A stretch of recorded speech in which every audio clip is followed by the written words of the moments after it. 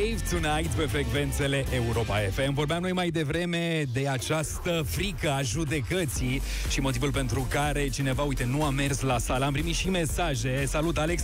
Eu am fost la o sală de fine sunt Tulcea și râdeau unii de mine pentru că sunt prea bătrână, așa ceva, dar mie nu îmi pasă oriunde aș merge cu fruntea sus, nu am complexe de niciun fel. Uite, asta e o problemă cu care astăzi m-am întâlnit. Alături de noi în studio a venit și Cătălin Striblea. Îmi povestea un uh, domn că nu se duce la sală de teamă că va fi judecat că e prea slab. Că e prea slab? Că e prea slab. Nu știu ce faceți voi acolo, atleții la sală. Râdeți de oameni? Păi nu, care? tocmai asta spun. Și dacă sunt ăștia care râd de oameni, cu tot respectul le-am spus, da. atât s-a putut, că nu prea e normal să faci așa ceva, având în vedere că în mod normal, care este baza oricărui sportiv? Obiectivul. Cu toții avem un obiectiv. Dacă eu am obiectiv să fac masă, păi e al meu și numai al meu. Nu înseamnă că și tu trebuie să ai același obiectiv. Eu am obiectiv să nu iau masă, cum ar fi. Eu am A, obiectiv zic. diferit față Exact, de exact. Să nu iau masă, mă înțelegi. Eu mă, mă duc la altfel de sală. Mă mai duc la not, poftim, din când în când, dar să ridic greutăți și asta nu mi-a plăcut niciodată. N-a fost cazul. Sunt... Te las pe tine. Mă lași pe mine. Da, te las pe tine să faci acolo scaun, piept, picioare. Vorba aceea, trebuie da. cineva să ducă și greul. Și greu, da, da, vă rog, că sunteți mai tineri, băgați-vă fraților acolo. Da. Pe bandă, iarăși Sportul de anduranță da. este extraordinar de sănătos, să știi. Da. Și îl practic și eu în egală măsură. De fapt, asta e baza mea, ciclismul. Ciclismul este da. sportul pe care am construit tot. Făcea impresionat că motociclismul. Și motociclismul e tot pe două roți, îți dai da, seama. Da. E și el acolo. Da, hai să vă povestesc că avem o idee nouă în materie de imigranți, adică de când am terminat noi emisiunea de la 2 până acum la 3 jumate, a răsărit așa ca o, o lumină, o străfulgerare a fost în capul cancelarului Austriei și trebuie să marcăm acest moment. Păi hai să fie atunci rațiunea zilei. Rațiunea zilei cu Cătălin Striblea la Europa FM.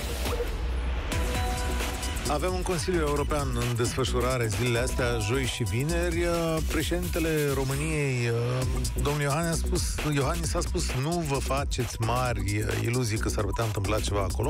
Totuși, comunic oficialii europeni, chestiunea asta a României și a Schengenului va fi pe agenda Consiliului și cu siguranță vor fi și discuții legate de imigrație, pentru că Austria s-a zbătut foarte tare să aducă tema imigrației legale pe masa întregii Uniunii Europene Europene. Și acum domnul Nehammer, știți că a trimis 5 idei Uniunii Europene și asta așa, dar în primul rând dați nevoie să-i trimitem înapoi pe cei pe care îi prindem, îi trimitem fie unde au fost înregistrați prima dată sau chiar în țările lor de origine, fie îi trimit, a, și plătiți-ne, plătiți-ne chestia asta, mi se pare foarte interesant, îi prindem, dar ne plătiți voi.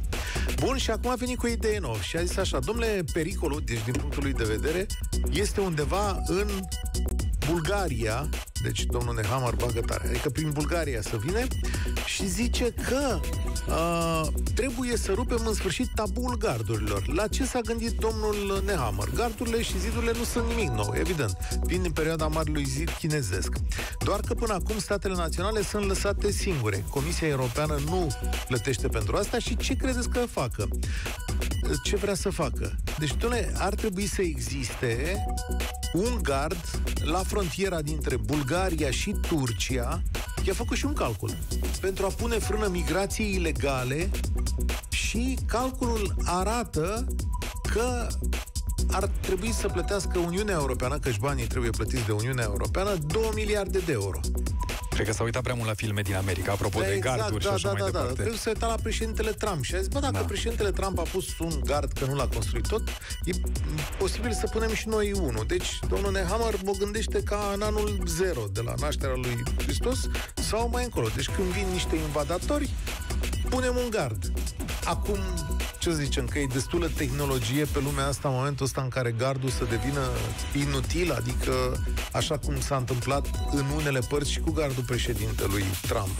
Ăla trebuie păzit tot timpul, trebuie să pui mijloace tehnice pe el, electronice, digitale, care să marcheze tot felul de lucruri, trebuie să ai trupe care să intervină și să păzească zona respectivă. Sigur, asta se întâmplă în mare măsură și în acest moment. Adițional ar fi că punem niște betoane, sau nu știu cum îl vede domnul cancelar, dar mă rog, poate are imaginația mai bogată, dar și gardul american a fost evitat prin tuneluri, prin tot felul de rețele interlope, oameni care sunt instruiți, să zic, în viața lor, trăiesc din a trece pe sub și prin garduri, ca să zic așa.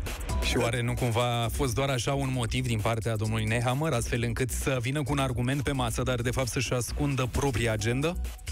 Nu știu. E cam am, empirică am, ideea, uh, sincer. Da, e chiar empirică, dar la nivelul ăsta de populism, probabil că suntem. Ce să facem, facem noi. O să funcționeze? Posibil să funcționeze. Și Ungaria a vrut să facă la un moment dat un gard la granița cu Serbia și a ieșit numai numai, ca să zic așa.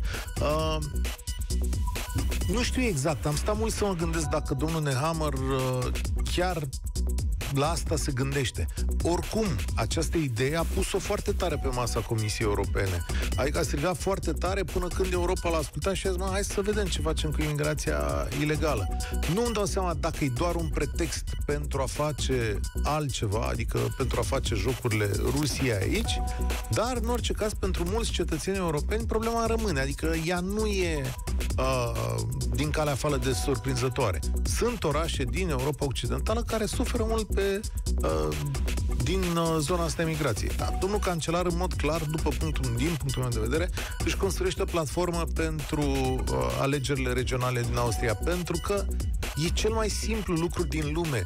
Nu le mai răspunzi oamenilor despre la sau la facturile foarte mari, la lipsa gazului, la desprinderea de Rusia, la știu eu ce alte chestiuni sunt în zona respectivă, aduci un dușman, îl pui în față și spui, uite ce eroism am făcut. I-am dat afară și pe români pe care nu suportăm, îi dăm afară și pe emigranți, ba mai mult de atâta facem și un gard. Și sigur, unii oameni vor fi încântați de, de chestiunea asta, mai ales că, după cum ai auzit și azi la România în direct, majoritatea populației privește cu o doză mare de neîncredere prezența unor persoane din alte culturi aici. Deci s-ar putea ca domnul Nehammer să-și făcut niște calcule corecte în perspectiva alegerilor. Și de ce spun asta? Eu știu și cred că în politică se lucrează pe mai multe paliere, adică nu poți să ai doar un singur obiectiv, iar în această situație mi se pare că sunt mai mulți oameni fericiți.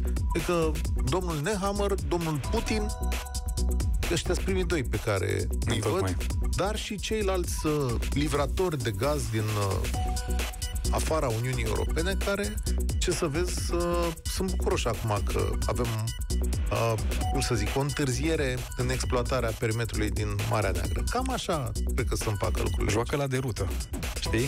O strategie, apropo. Schimbi da, un pic da, da, focusul, schimbi atenția oamenilor și o muți. Da, da, asta se întâmplă. Deci, de la, probleme, uh, de la probleme care probabil ar putea fi mult mai dureroase. Interesant. Cătălin, îți mulțumim foarte mult pentru că ai fost alături de noi. Am ascultat rațiunea zilei, iar dacă nu ați apucat să ascultați acest moment de la bun început, vă propun să intrați și pe site-ul nostru europafm.ro sau pe Facebook-ul nostru Europa FM, Radio Europa FM, la secțiunea de live-uri. Noi continuăm întâlnirea noastră. Rămâneți cu mine pe frecvențele Europa.